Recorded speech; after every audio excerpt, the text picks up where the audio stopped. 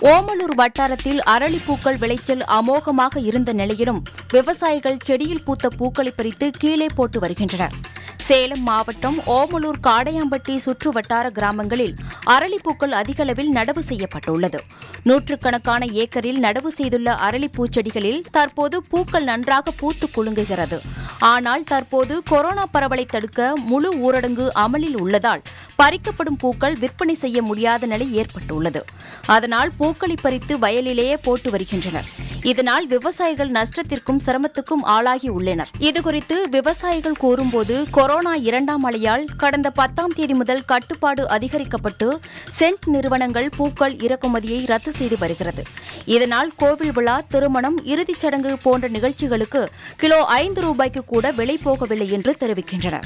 இந்நிலையில் பூக்களை பறிக்காமல் செடியிலேயே விட்டால் செடிகள் வீணாகிவிடும் என்பதால் பறித்து வயலிலேயே போட்டு வருவதாகவும் தெரிவிக்கும் அவர்கள். உரிய நிவாரணம் வழங்க அரசு நடவடிக்கை எடுக்க வேண்டுமென்று கோரிக்கை விடுத்துள்ளனர்.